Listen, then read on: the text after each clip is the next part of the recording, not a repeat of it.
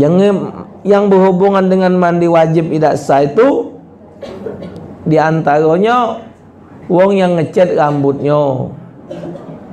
Uban ngambu mata kabu gigi runtuh bebe kendur jalan. Itu tu sudah masanya itu agak bingseng berduit pakai wong oh, nak mana? Nak mengi elok aku jadi. Pakai wong cek beli dulu kan cek? Laju laju cek makan model. Melingah laju. Pingseng kau pingseng kena aja tak? Penting ada duit. Cantik belagak bagus. Buntu katik nama agak Assalamualaikum warahmatullahi wabarakatuh. Ketemu dengan Mang Dayat di sini di channelnya Wong Palembang. Untuk yang belum subscribe, tolong dibantu subscribe. Dan jangan lupa klik tanda loncengnya. Terima kasih.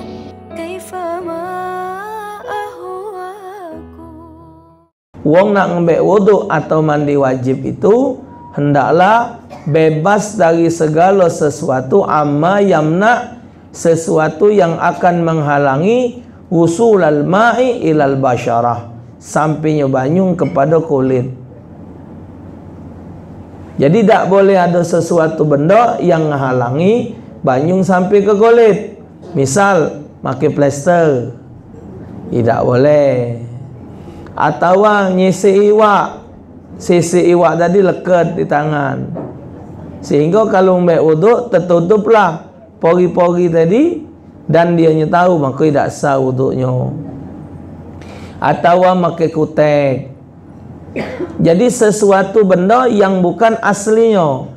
Tapi kalau benda itu asli yang ada di badannya itu tetap sah contohnya. Tangan kita bekas koreng Koreng itu galak kering. Belum ngelopek itu kan kering mungkin.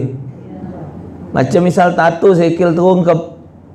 Nah, sikil tu terungkep tadi. Yo. Kok kocek balak jengku ni.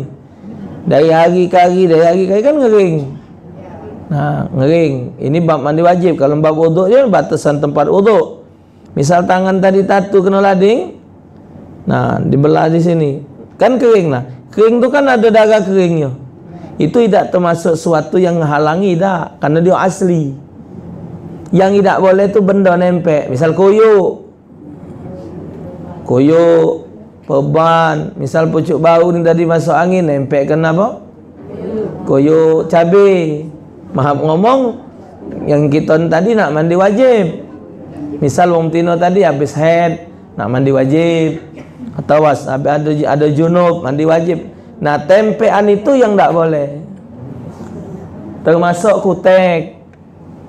Kutek-kutek kamu tino ada juga betino galak anak tegau berkutek. Oi kutek diagu lagi men ustaz. Oh. Lagi men juga ada apa? Jangan. Tak ada katik guna juga kata kutek. Celana pendek kuku panjang berkutek ngokok. Rambut belang-belang kamu beda kocan ni. Ya. Yeah? Tu termasuk termasuk sesuatu. Jadi kesimpulannya segala benda yang menghalangi kulit, menghalangi sesuatu yang ada di badan kita ini itu termasuk yang menghalangi keaslian. Maka itu tidak sah wuduknya termasuk juga tidak sah mandi wajibnya kalau kamu betina di kalangan wong-wong berduit wong-wong beruang ini yang nato alis. Ha, alis ni dia ditato. Ha, termasuk sulam bebe bebe ni disulam ha, mak streamin ya? Yeah? ha, dicocoi hmm Ha, dia tempei. Di dempo di dempo situ 150. Ya ya. Ha. Sulam bebe, sulam bebe. Lah iya ada mereknya nah. Agak salon itu. Ha. Sama apa tato alis. Nah, tato alis kan alis dibuang, ditato. Itu rai ini bu termasuk anggota wudhu dia ni ada yang tidak sah mandi wajib tapi wuduk sah.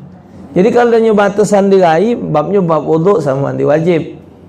Nah, kalau dia tidak masuk kepada anggota ambil wuduk berarti mandi wajibnya yang tidak sah. Yang yang berhubungan dengan mandi wajib tidak sah itu di antaranya wong yang ngecat rambutnya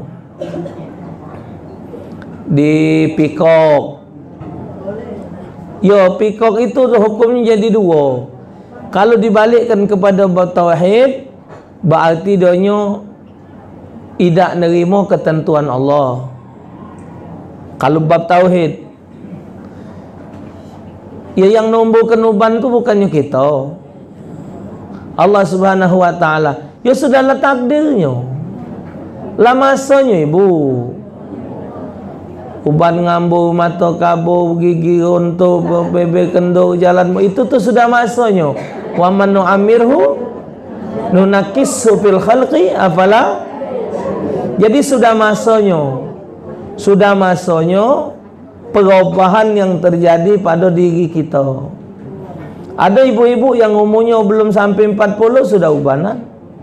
Ada yang lah nak 50 masih belum ubanan. Ada bayi anak mandi kong meninggal umurnya 80-an ni tak kata ubat. Ya kan bukan kita yang ngelola diri kita ni. Jangan arwah ibu almarhumah umur 42 meninggal. Kata uban ibu tidak maki sampo cuman kalau ibu balik ngajar beli minyak bekal minyak. Telah mok-moknya macam balak ya. Wong tua pingin. Minyak sayur plastik gitu nah. Nah tempek-tempek kayaknya tidak tumbuh uban tidak panjang rambut ibu sampai ke boyok panjang. Rambut ibu. Kalau nyawa semayang putelnya dulu rambut panjang. Sisirnya suri hmm, gantungnya sini. Nah. nah ini kayaknya. 42 umur ibu meninggal. Ya? Yeah? muda ibu meninggal. So ibu masih hidup beradian lagi. Cak empat ikut lagi boleh adik Jadi uh, nah, kenapa yang nah kalau ibu nak nyingok kenyo pikok itu haram apa tidak? Jadi kalau ada apalah jarit tipis uh, dasar tipis apa pari siapa? Yang tipis. Sipun eh. Nah, ibu libar kedokin sewet tu nah. Tu. Nah, ibu yang yang si si semir rambut ni tadi, mok-mok dulu bocor ni. Mok-mok ni nah. Di libar ke, di kecer ke, di kena ke, tunggu ke kering. Tunggu ke kering. Lah kering, ibu simbai banyu. Tembus tak jarit itu? Jadi kalau dia tidak ada tembus, berarti nutup lubang dia. Kalau dia tembus boleh dipakai. Artinya nembus dia masih di rambut tu masih nembus. Kalau dia nutup sama dengan hukum cat. Maka tak boleh dipakai. Satu. Kedua, pikok itu tetap tidak boleh dipakai kalau dia warna hitam. Apapun bahannya. Walaupun lolo. So, lumpur tu. Lumpur sungai tu. Ibu mek. Mok-mok Warna hitam. Atau atau menaspal tu. Anu apa bahan anu apa? Arang atau boleh kuali tu kesik. Istilahnya ni nak ngambil warna hitam. Itu kan alami galau. Itu alami galau ibu. Ke arang alami ibu tumbuh ini tak tumbuh ibu pakai. Bukit kuali kesik Mbak hitamnya Tetap haram. Hitamnya tu. Sekarang Uang nak ngubah warna putih jadi hitam tu ngapo? Ha. Jadi ibu kalau bab semir rambut itu tidak kata alasan yang pacak diangkat. Misal mata kita nak kiki ngawas tu. Hai. Hai aku ni lah biasanya mata aku ni. Anu cek, inilah Pertamina misal lagi operasi gratis mau cek mata gratis. Kalau cik tu kata orang mungkin lah pendek cerita melok. Nah. kan masih ada alasan benar. Cek ngapo perasi mata aku ni ngaji ni dak jingok ah nurupnya. Nak ngaji aku ni dak keluruan nak berdekir lah baca nak apa dak ada dak baca nyingok ha, namanya ibu dari sakit tadi dari sehat jadi sakit ibu dandan ni lagi tapi tujuannya ada baik untuk ngaji. Nah jadi ada tujuan bagusnya. Kopeng bekak. Ha ha ha ha dia operasi. Di dandan ni lah taruhlah berapa sekian. Ngapa cek di bener ke laki kopeng cek tu makai alat kalau macam? Anu aku ni biasanya kopeng ni ustaz tak ada dengar. Aku ni nak dengar ustaz ceramah, nak dengar orang ngaji. Ai tak terdengar lagi. Artinya ada baiknya walaupun dia nak nyanyi. Walaupun dia nak dengar apa, tapi ada sudut baiknya. Apa lagi gigi habis. Makai gigi palsu. Ngapa cik? Ya aku ni ngaji tu aku lewat kalau apa laju, apa laju. Ijajul, ijajul. Nak lekat lagi orang. Jadi Nah, bekas bergigi ni agak lemak juga. Artinya ada baiknya. Tapi ketika rambut uban dirubah warna, apalah sudut baiknya? Dikata lelaki tak setuju, mandi lembut senyum rambut, hilang. Nak dikata ke ngapo, nak kata ke tua, memang kita lah tua. Nah, apa dia lah kira-kira? Nak dipakai kena lesan, rambut putih nak dihitam ke tu sementara ibu pakai jilbab tak ada teloguan juga. Mihun-mihun soun-soun tertutup. Ya, kalau kami lanang telongo ini lah. Jingoan kamu tutup. Takut juga tidak ada pakai kodong di rumah. Katik ngawas paling abahnya kalak payun anda sudah. Nah, jadi yang nak usul lemak kalau sampai dipakaikan si pikok tadi kan ada ujinya bahan dari si Hana apa? Henna. Nah, ujinya henna tu bahannya dari ini benar. Tapi tetap tidak boleh warna hitam. Hadisnya jelas. Waktu Abu Qahafa, bapaknya Sayyidina Abu Bakar, waktu itu terjadi Fathul Makkah wong Madinah bu tidak boleh masuk Mekah perjanjian Rasulullah dengan wong kafir Quraisy. Tidak boleh masuk Mekah. Abu Quhafa ni ada gawe nak ke Mekah.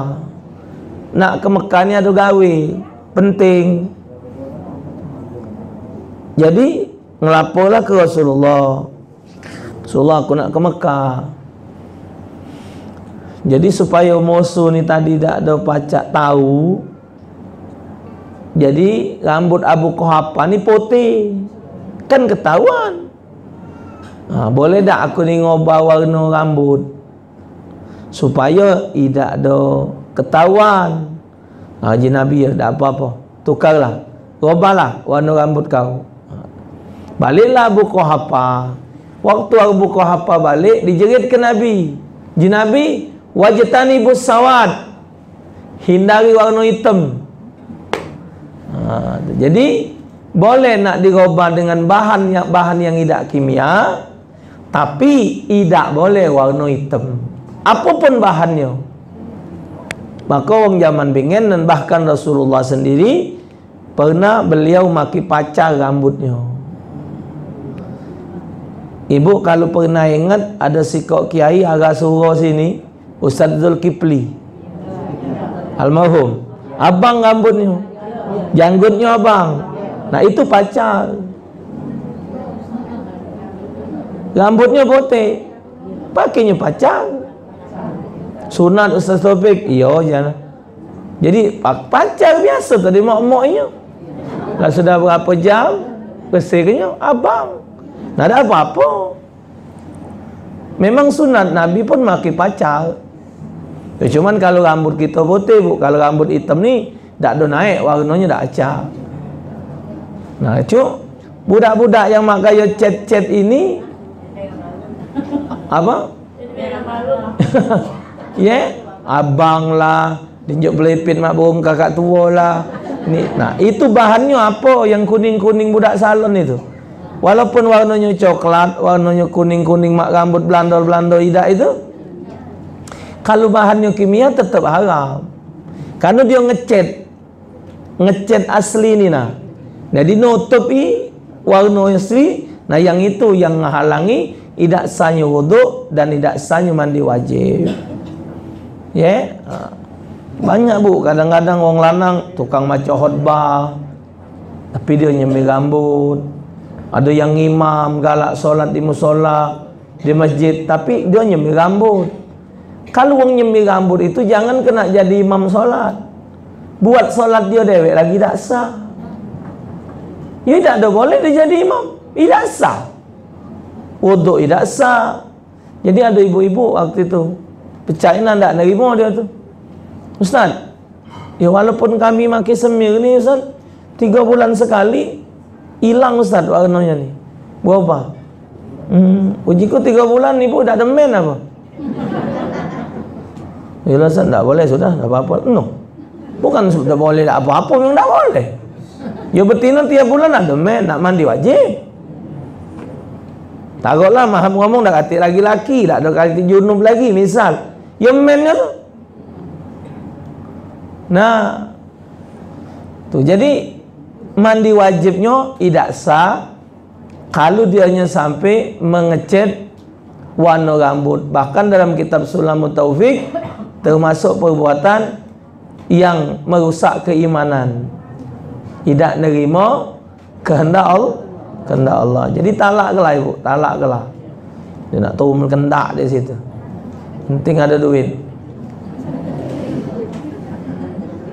Udah tu pertama kali manusia yang tumbuh uban di pucuk dunia ni Nabi Ibrahim. Manusia pertama kali yang rambutnya tumbuh uban di dunia ni Nabi Ibrahim. Waktu rambut Nabi Ibrahim putih, Nabi Ibrahim nanya sama Allah, "Apa ini Allah?"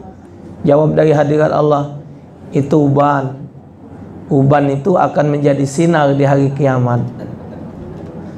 Jadi uban itu menjadi sinar di hari kiamat. Maksudnya itu bukan kepala itu metu sinar. Dengan banyak uban meningkatlah ibadat kita. Nyadar ke bawah kita ni lah mampu dapuran. Lah paraklah mobil ambulan nak ke rumah. Katil lah berbunyi. Nah, jeruk perut lah mampu. Artinya kalau rambut lah uban tu nak banyak-banyak ibadat. Ana ni uban kali ibu rambut no. Uban kalau 44 umur. Jadi waktu ayah makan gegodo, duduk di kursi meja rumah lama ni 14. Ya ayah duduk kursi, ana duduk bawah sanjo. Cekelinya pala. Ya Allah nah uban galau pala kau. Ya jika tua lapik dari ayah. Mungkin apik dulu meninggal bawa ayah. Hah, ngomong basing baik. Dia ayah dulu meninggal. Iya, itu pahatara jasa rambutnya putih kan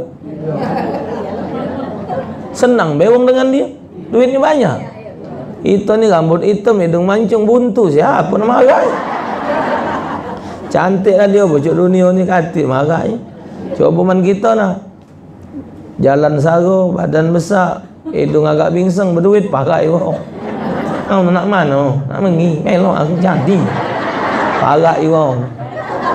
Cek beli dulu kan cek? Laju, laju. Cek makan model, melingah, laju. Pingseng kau pingseng, mendak je tak? Penting ada duit. Cantik, belagak, bagus, buntu, katik nak marah. Nah, marah cek saruh je. nah, jadi tak jadi soal. Biarlah rambut uban tak jadi soal.